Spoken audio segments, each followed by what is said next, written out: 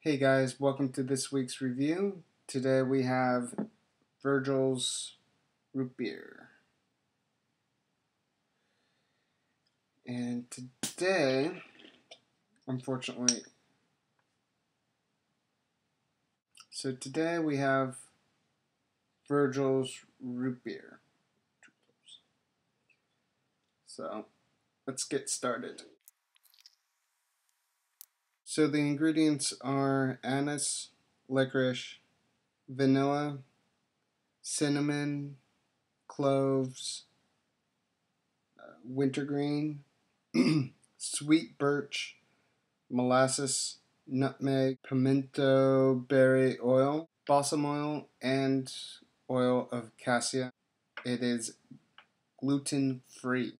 As you can see, the head was not really strong. Um, but that was a good good head at the beginning.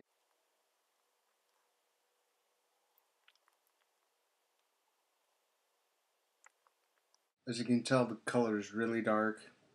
It's really good.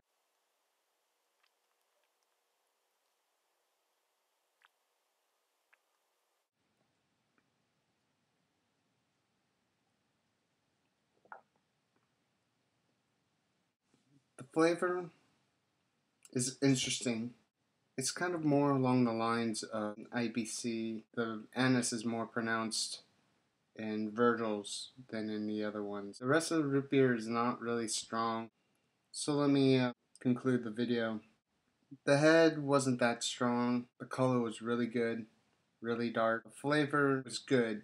It didn't have that much of a bite, but was a well-rounded flavor. I would give it a 3 out of 5 sassafras roots.